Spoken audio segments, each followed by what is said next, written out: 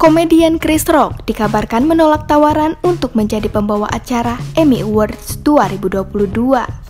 Bukan tanpa sebab, penolakan Chris Rock ini dikarenakan ia tengah mempersiapkan proyek terbarunya.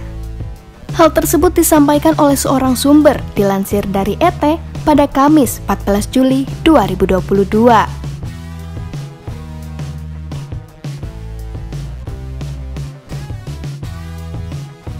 Malam penghargaan Emmy Awards 2022 akan berlangsung pada 12 September 2022 dan disiarkan secara langsung dari Microsoft Theater di Los Angeles. Sebelumnya, masih terekam diingatan sebuah momen Chris Rock di ajang penghargaan.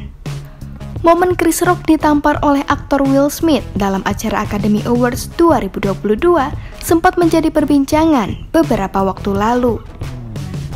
Peristiwa itu terjadi setelah Chris Rock membuat lelucon mengenai istri Will Smith, Jada Pinkett Smith. Sebagai informasi, Jada Pinkett mengalami alopecia atau gangguan autoimun yang menyebabkan bintik-bintik hingga membuat rambutnya rontok. Setelah kejadian tersebut, Will Smith meminta maaf kepada Chris Rock dan Akademi atas tindakannya.